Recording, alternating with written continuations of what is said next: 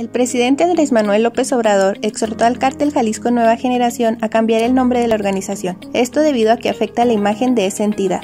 De igual manera, el presidente mencionó que seguirá con su estrategia de abrazos no balazos, lo anterior debido a que está convencido que funcionará. El cártel Jalisco Nueva Generación salió a tema de la conferencia matutina debido a que se dio a conocer información acerca del asesinato de un grupo de personas en Michoacán, lo cual ocurrió afuera de un velorio en San José de Gracia. Una célula delictiva de dicha organización habría sido la que asesinó al grupo de personas, entre ellas a Alejandro N. El Pelón.